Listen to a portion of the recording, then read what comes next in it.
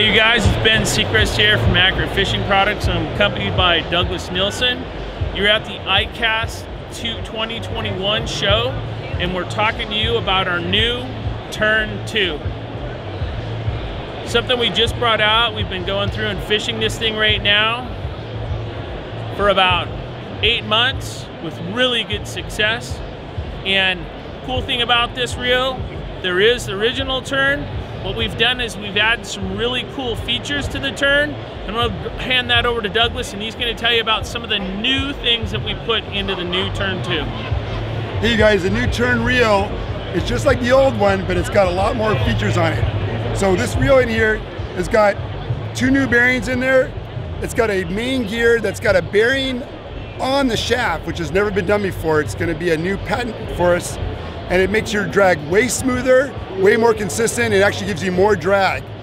We've also added a cast control on the gear side, and this cast control is amazing. You can actually cast this reel and really not even touch the spool.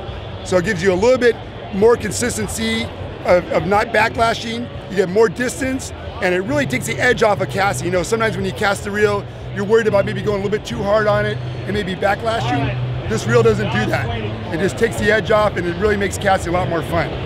So if you're looking for a reel that's good for stripers, for inshore stuff as well as offshore stuff, we've got these in the size 300, 400, 500, 500 narrow, 600, 600 narrow, and they'll be available later this year. They'll, you'll see them probably Black Friday come out. So gear ratio six to one or five to one, whatever you're looking for on that. And um, we really appreciate Tackle Direct coming over and letting us say something new about our new product.